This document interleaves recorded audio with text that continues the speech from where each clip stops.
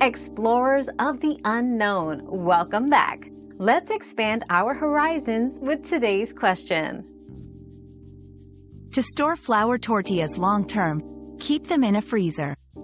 First, separate each tortilla with parchment paper to prevent sticking.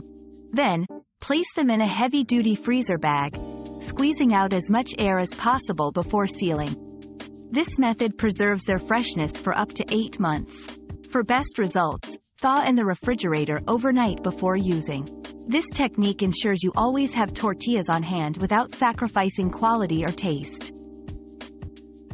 Your daily dose of discovery ends here, but the journey of learning never stops. Subscribe and join us again for more answers tomorrow.